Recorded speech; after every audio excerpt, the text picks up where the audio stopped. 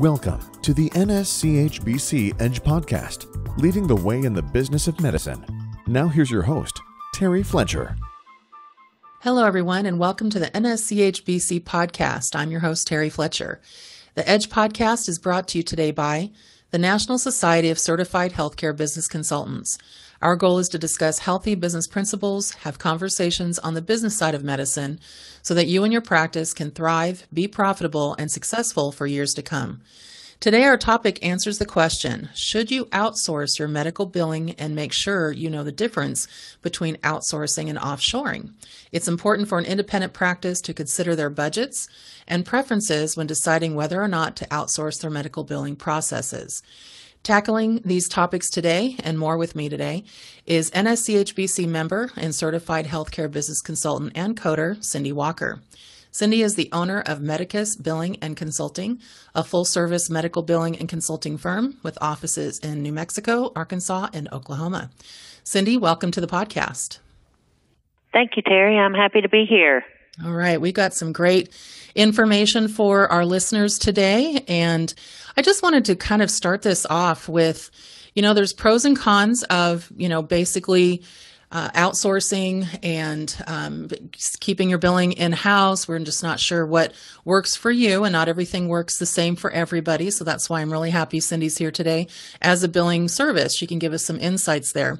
But first, I wanted to to really get an kind of a feel for the difference between what is outsourcing versus offshoring because I think part of our audience may not understand that. So Cyndi, I'll let you talk to that that topic.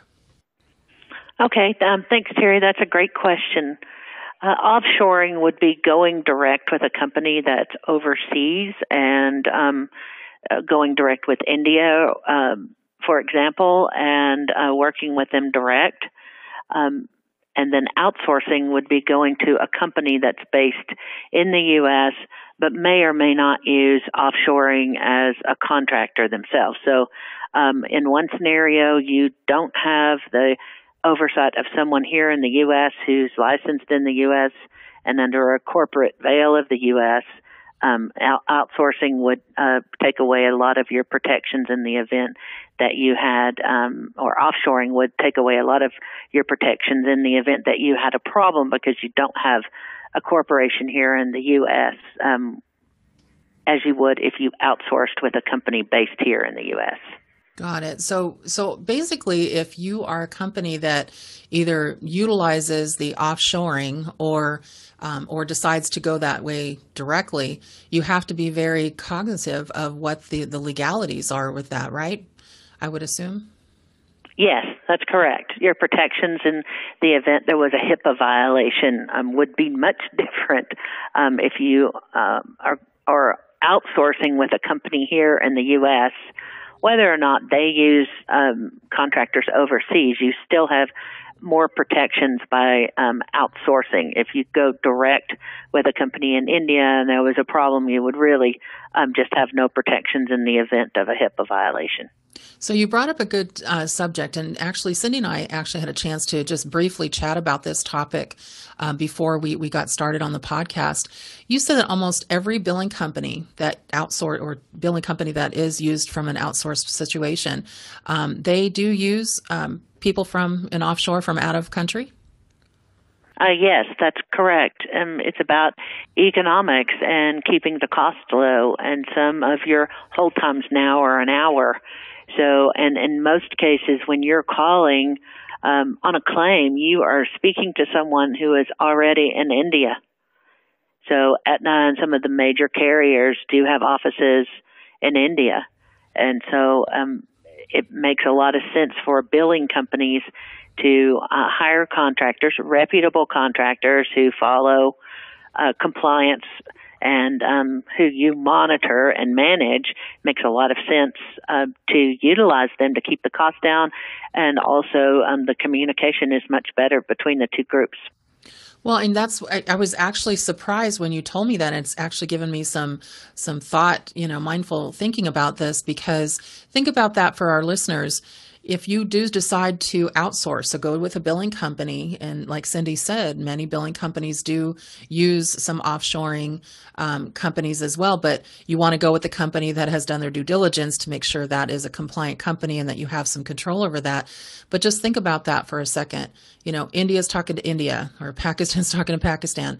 That does make sense when you think about that because there's always some kind of a negative connotation when it comes to offshoring. So you just have to really be mindful and do your due diligence to make sure you have the right company. So let's get into some questions to consider before you outsource. So, is your billing process efficient or inefficient? So, Cyndi, can you talk to that about collections? You know, are they are people dropping them every day? You know, what is the difference that you've seen from an in-house billing department that could be having some issues versus outsourcing to someone like yourself, for example? Well, this is a great question because a lot of practices um, really concentrate on how well we're doing financially without having time to look at exactly what the AR department is doing, how many claims are outstanding, why you're getting rejections. And um, if you're not able to staff your in-house billers properly, um, and you are shorthanded, a lot of times the AR is the last time, thing that gets uh, worked, and sometimes it will get skipped from month to month without the owners of the practice knowing because you really get pulled to go work at the front desk or do other tasks, and so the AR is kind of the last thing that's worked. The advantage of outsourcing is you get resources from a larger company that can pull four or five team members in if needed to work the AR um, in some cases, our company, we map things to Excel. We give you feedback on the categories of your denials and have meetings with you and prepare financial reports for what's going on in the billing department. So if you can maintain those levels where you actually have dedicated staff in house uh, and a manager to look at what they're doing and you are able to review your reports monthly, then I would say you could handle that in house. If not, and most practices are not able to do that at that level, would benefit from outsourcing.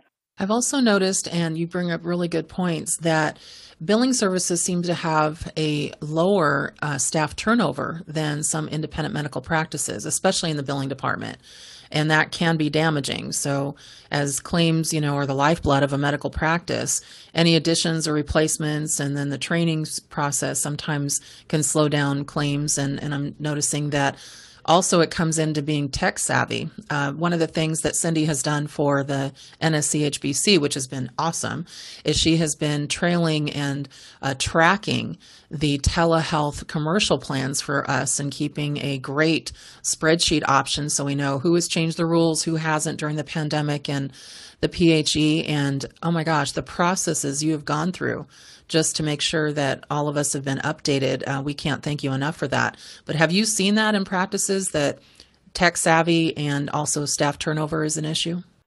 Staff is a big issue. Um, if you have one person working your AR and that person goes on vacation, then your AR is not being worked. Or if they become ill or injured, um, then you're kind of stuck with your AR not being worked. So you do get the benefit of having um, multiple people that can step in and layers of staff when you outsource your billing. So it makes a big difference.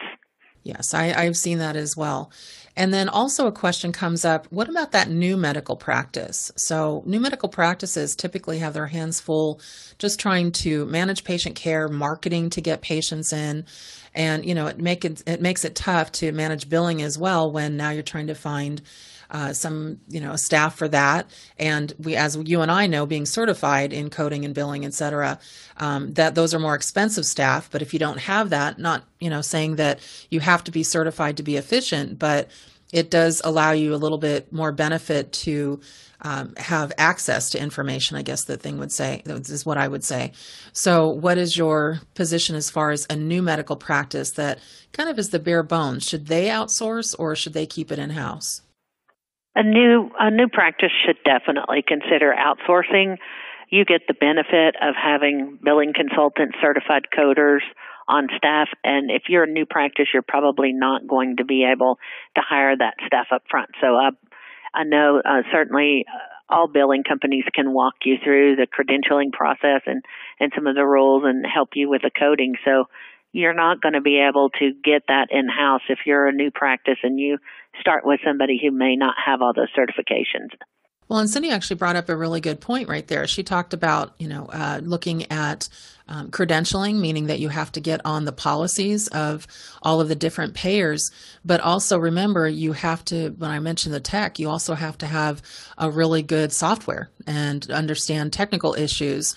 And you have to invest in that. I see too many times practices are investing only in the practice management or EMR side of it, and they forget about the, the medical billing software and updating that, et cetera. So outsourcing could definitely be an option for that new practice that basically says, okay, I'm just trying to get my practice up and running and I need somebody to, once I have it up and running, can you just take this and make it work and turn it into money? And uh, I think that could be definitely something to, to take a look at. Now, in saying that, what about the, the practice that and how difficult is it? Let's say you have a lot of my clients, they have uh, at least 30, 40 physicians and some are MCOs, some are ACOs but I noticed that a lot of their billing departments are pretty inefficient. A lot of people have decided to, you know, work remotely now, obviously during the pandemic. But everything I'm seeing is they have two to three staff members doing the same thing, or it, it just seems to be either overstaffed or understaffed, or you just have a lot of people that really don't have um, I don't want to say a job title, but really understanding what their job is. So, how hard is it to go from a really big practice to transition to a uh, billing service? It's very difficult, and so that's where going to a, a billing service can, you know, give you access to all the different departments, all the different knowledge without trying to um, suffer that through in house, making lots of mistakes and having lost income.